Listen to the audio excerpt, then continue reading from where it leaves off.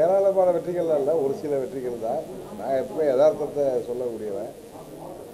இந்த வெற்றி தோல்வியெல்லாம் என்னை என்றைக்குமே பாதிக்கிறது இல்லை. உங்களுக்கு முன்னே தெரியும். ஆர்கே நகர் தேர்தல் வெற்றியை எப்படி எடுத்துக்கிட்டோம்னா தொடர்ந்து பாராளுமன்ற தோல்வியாக இருக்கட்டும் சட்டமன்ற தோல்வியாக இருக்கட்டும். ஏன்னா அரசியல் வாழ்க்கையில் வெற்றி தோல்வியெல்லாம் சம மனதோடு மனநிலையோடு அணுகினா தான் நம்ம இலக்கை அடைய முடியும். இப்போ உள்ளாட்சி தேர்தலில் எங்களுக்கு ஒரு நல்லது ஒரு தொடக்கமாக இந்த நகராட்சி ந- ந- நகர்ப்புற உள்ளாட்சி தேர்தல் எங்களுக்கு இருந்துச்சு.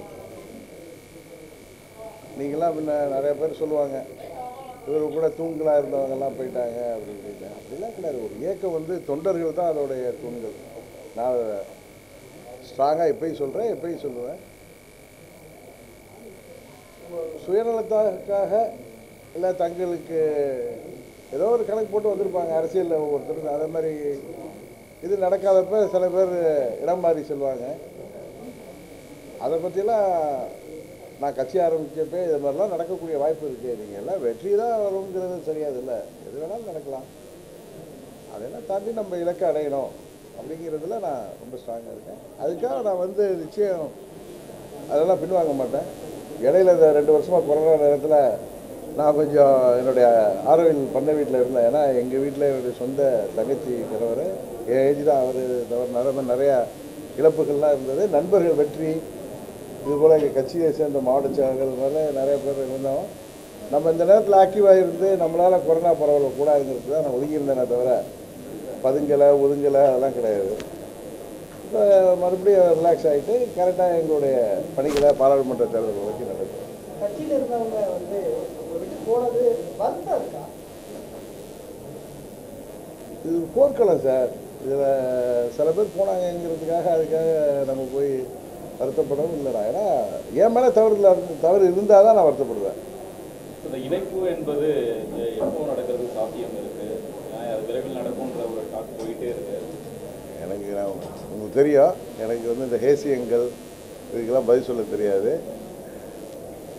உங்களுக்கு நான் கிளியராக கிளிப்புள்ள மாதிரி திரும்ப திரும்ப சொல்கிறேன் நான் வந்து என்றைக்கு இந்த இயக்கம் தொடங்கினோ அன்றையிலேருந்து அம்மாவுடைய ஆட்சியை மீண்டும் தமிழ்நாட்டில் கொண்டு வரணும். அப்படிங்கிறதுக்கு தான் இந்த அம்மா மக்கள் முன்னேற்ற கழக இயக்கம் தொடங்கப்பட்டது.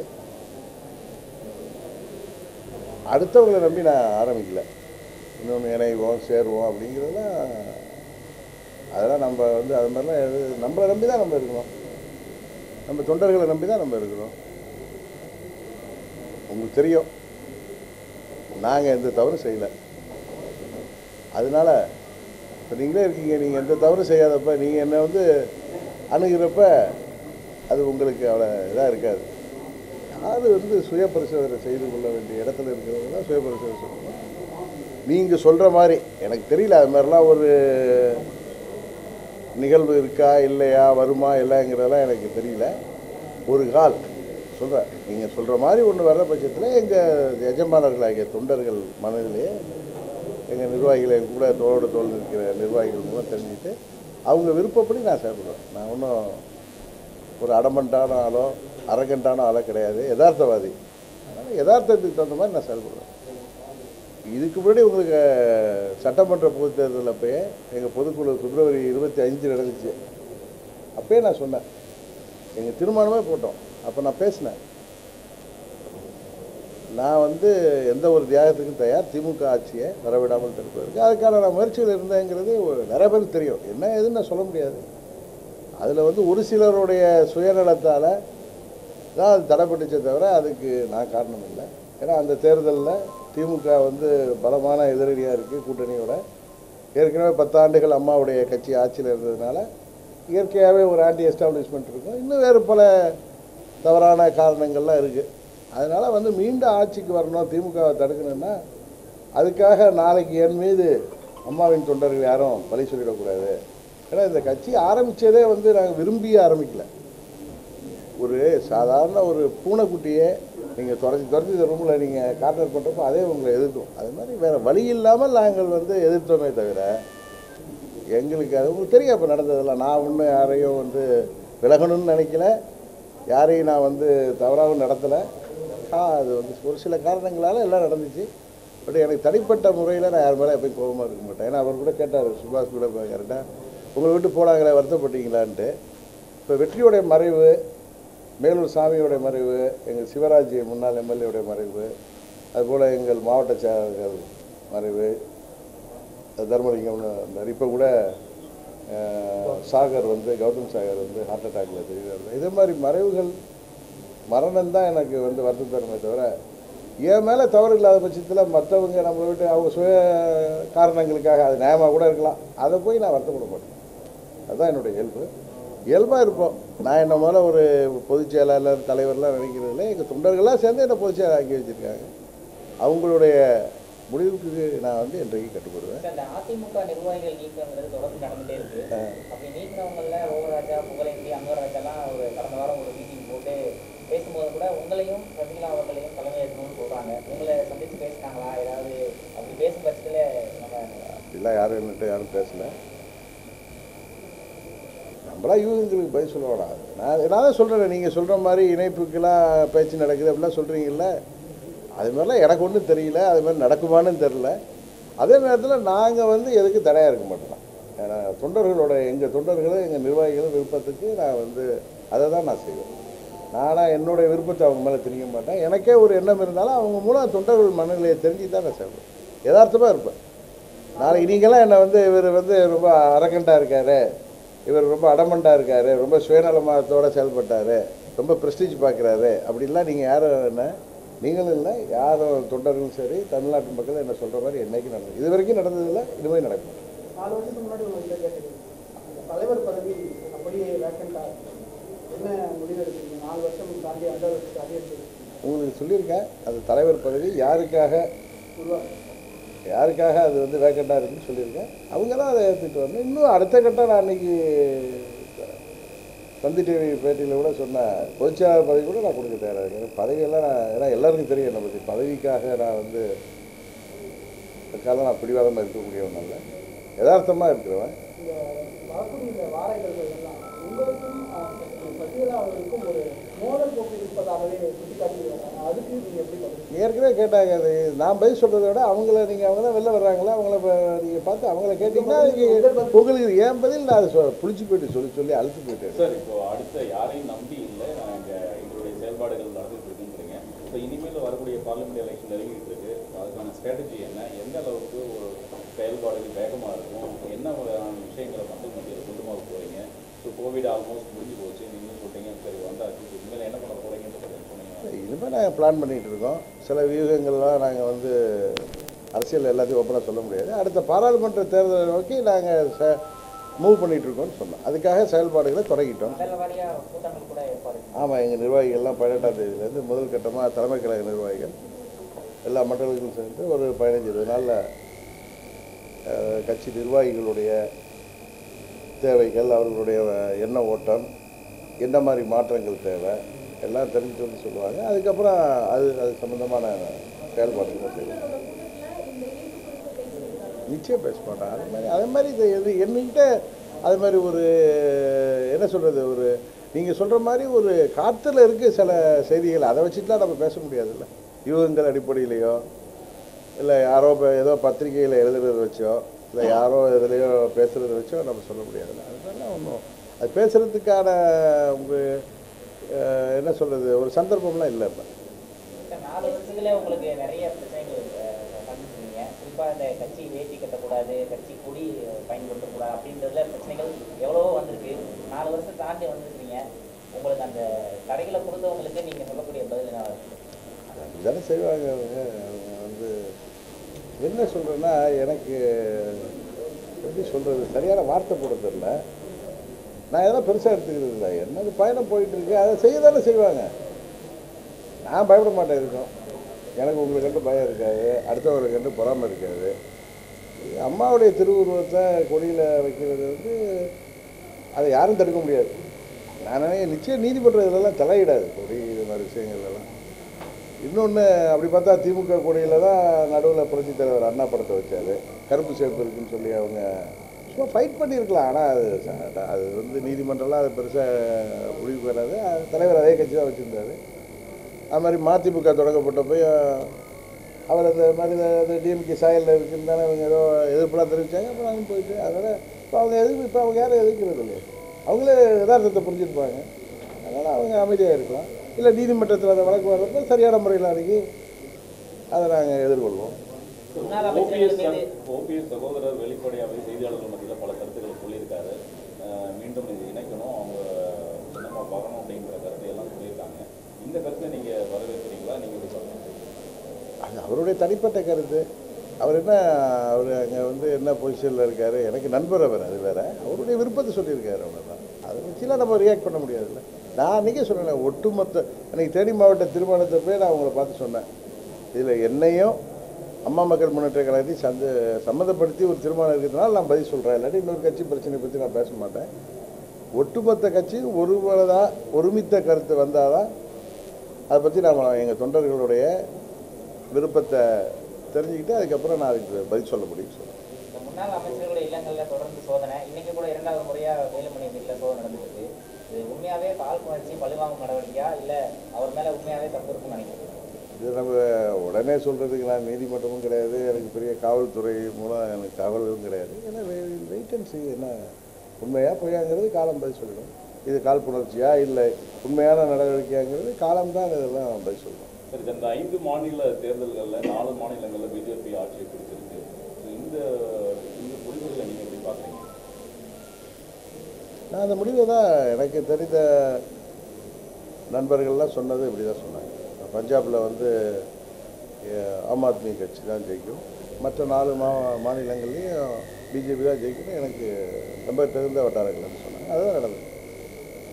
ஜென்ரலி இப்போ பிஜேபி கவர்மெண்ட்டை பற்றி தமிழ்நாட்டில் சவுத்தில் இங்கே வந்து நிறைய ஒரு கிரிட்டிசைஸ் பண்ணுறாங்க ஒரு எதிர்மறையான கருத்துக்கள் இருக்குது சரியா பர்ஃபார்மன்ஸ் இல்லைங்கிற மாதிரி வேலைவாய்ப்பு பிரச்சனை நிறைய விலைவாசி உயர்வு நிறைய இஷ்யூஸ் இருக்குது பட் அப்படி இருந்த போதும் வந்து நாட்டில் இந்த அளவுக்கு ஒரு பெரிய அளவுக்கு அவர் பிஜேபி கவர்மெண்ட் அந்த அளவுக்கு அந்த மாதிரி உண்மையிலே மக்கள் நினைக்கிற மாதிரி இல்லையா? இல்லை நல்லா தான் பண்ணுறாங்க அங்கெல்லாம் அந்த கட்சி ரொம்ப ஸ்ட்ராங்காக இருக்கலாம். மக்கள் அதை அந்த கட்சியுடைய ஆட்சியை தொடரட்டும் அப்படின்னு நினைக்கலாம். அதனால் இருக்கும். டிஎம்கே கவர்மெண்ட்டுடைய அந்த ஆல்மோஸ்ட் ஒன் இயர் வரப்போகுது வரப்போகுது இவங்களுடைய செயல்பாடுகள் தேர்தலுக்கு முன்பு நான் தான் சொன்னேன்ல எதிர்க்கட்சி தலைவராக இருந்து செயல்பட்ட திரு ஸ்டாலினா இப்போ எவ்வளோ அந்த பல்ட்டி ஆகாச பல்ட்டிலாம் அடிக்கிறாரு. அது பதவிக்கு வர்றதுக்காக எதை வேணாலும் பேசினாங்க தேர்தல் அறிக்கையில் எதை வேணாலும் சொன்னாங்க. ஏன்னா அவங்க ஒரு பலமான கூட்டணியோடு இருந்தாங்க. இந்த பத்தாண்டு அம்மாவுடைய ஆட்சி இருந்துச்சு. ஸோ அவங்களுக்கு வாய்ப்பு இருக்குங்கிறது எல்லாருக்கும் தெரியும். அப்போ போய் தேவையற்ற செய்ய முடியாத வாக்குறுதிகள் எல்லாம் சொல்லி அவர் வந்து ஒரு நாற்பது ஆண்டு அரசியல்வாதி அது மாதிரி ஒரு தேர்தல் அறிக்கையெல்லாம் சொல்லியிருக்கக்கூடாதுன்னு நினைக்கிறேன். இப்போ செய்ய முடியாமல் ஏதோ அவர் தடுமாறுறாருங்கிறது தெரியுது. விடியல் ஆட்சி தடுமாறிக்கிட்டு இருக்கு. இன்னும் கொஞ்ச நாளில் பொத்துன்னு உளுந்துடும் தான் நான் நினைக்கிறேன். ஒரே நாடு ஒரே தேர்தல்ங்கிற ஓட்டம் வந்து இந்திய தேர்தல் ஆணையரும் வந்து அந்த முடிவுகள் வந்து அன்னைக்கு அவர் அந்த கருத்தை சொல்லியிருக்காரு. அப்படின்னு சொல்லி சொல்லியிருக்காரு. அப்படின்னா இப்போ இருபது இருபத்தி நாலில் தமிழ்நாட்டுக்கும் சேர்த்து எலெக்ஷன் வரக்கான பாசிபிலிட்டி இருக்கா? இது எந்த சந்தர்ப்பம்ல ஒரு சீஃப் எலெக்ஷன் கமிஷன் சொன்னான்னு தெரியாது. இப்போ நீங்கள் என்கிட்ட வந்து கேட்குறீங்க ஏன்னா இணைப்புக்கு சாத்தியம் இருக்காருன்னு. நான் அதுக்கு ஒரு பதில் சொல்லுவேன். நீங்கள் கேட்குறதுனால அவர் பதில் சொல்லியிருப்பார். தேர்தல் எல்லாம் நடத்தினா நாங்கள் நடத்துகிற தயாராக தான் இருப்போம்னு சொல்லுவார். பார்லிமெண்ட் எலெக்ஷனுக்கு இந்தியா ஃபுல்லாக தயாராகிறாங்க அதோட சேர்த்து அசம்பிளி வைக்கிறது ஒன்றும் எலெக்ஷன் கமிஷன் பார்ட்டில் ஒன்றும் பெரிய கஷ்டமான விஷயம் இல்லை அதனால அவர் தான் கிளியராக சொல்லியிருக்காரு. அது வந்து நடத்த முடியுமானா முடியும்னு சொல்லியிருப்பார். அவர் ஒன்றும் அதை முடிவெடுக்கக்கூடிய இடத்துல இல்லை அதுக்கு அதிமுக வரவேற்குது திமுக எதிர்ப்பு தெரிவிக்குது. அவங்க என்ன ஜனநாயக முறையில் வந்து பார்த்தா வந்து அப்போ நடத்துறது சரியில்லை. ஏன்னா இப்போ தான் நிறைய தேர்தல் ஒரு ஒரு ஆட்சி வந்து ஐந்து ஆண்டுகள் தொடரணுங்கிறது தான் மக்கள் அதுக்கு தான் மேண்டேட் கொடுத்துருக்காங்க. ஏதோ சில தவிர்க்க முடியாத காரணங்களால் வந்து த்ரீ ஃபைவ் சிக்ஸ்லாம் யூஸ் பண்ணுவாங்க. எனக்கு தெரிஞ்சு பிஜேபி இது வரைக்கும் அது மாதிரிலாம் த்ரீ ஃபைவ் சிக்ஸ்லாம் யூஸ் பண்ணதில்லை. இடையில ஒரு ஆட்சியை க கலைச்சதாக நான் பார்த்ததில்ல. இப்போ யூபியில் இப்போ தான் பெரிய இந்தியாவிலேயே பெரிய மாநிலத்தில் இப்போ தான் தேர்தலே முடிஞ்சிருக்கு. இன்னும் ரெண்டு வருஷத்துக்குள்ளார அங்கே ஒரு அசெம்பிளி தேர்தல் இருக்குல்ல அவங்களே முதல்ல தயாராவாங்கன்னு தெரியாது. அதனால் எனக்கு என்னுடைய தனிப்பட்ட கருத்து அப்படிலாம் வர்றதுக்கு வாய்ப்பு இல்லைன்னு நினைக்கிறேன்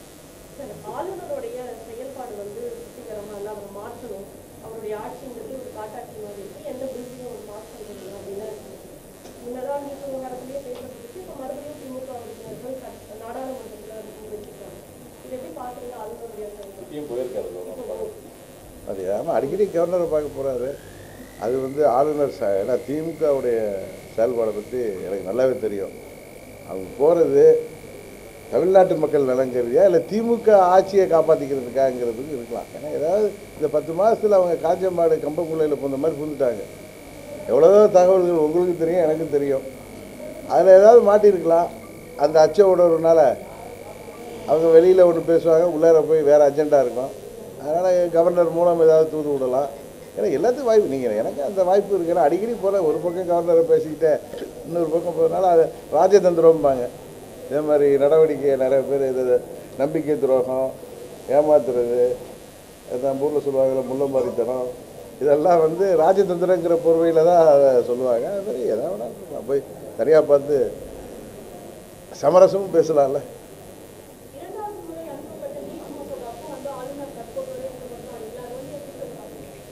முதலமைச்சர் தான் சொன்னார் ஆட்சிக்கு வந்த உடனே. அவங்க அப்பா எத்தனை முறை முதலமைச்சர் இருந்தார் இவர் டிப்டி சிஎம் வரைக்கும் இது வந்த உடனே ஒரே கையெழுத்தில் மாற்றிடுவேன்னு சொன்னார். அப்புறம் எதுக்கு ஆளுநர்கிட்ட போயிட்டுருக்காரு? இவர் ஒரே கையெழுத்து போட்டு அறிவிச்சிட வேண்டியதால தமிழ்நாட்டு அது சுப்ரீம் கோர்ட் திருப்பு.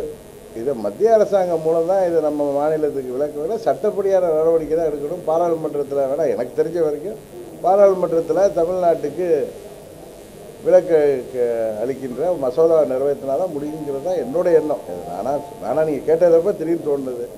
இது ஒரு சொல்கிற மாதிரி ஒரே கையெழுத்து மாற்ற முடியாது. அது காலம்தான் அதுக்கு பதில் சொல்லுவோம்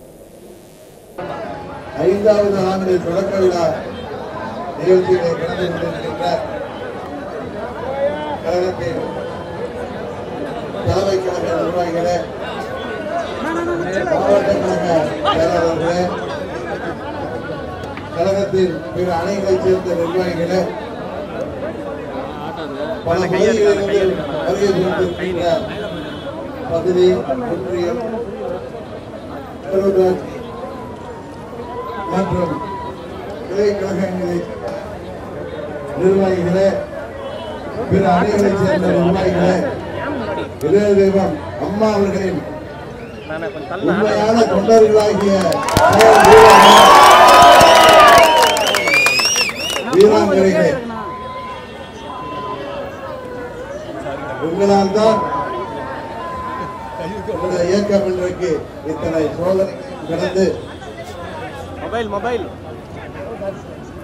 நமது இலக்கை நோக்கி நாம் பயணித்துக் கொண்டிருக்கிறோம் என்றால் உறுப்பு மிக்க செயல் வீரர்களும் செயல் வீராங்கனைகளும் என்னோடு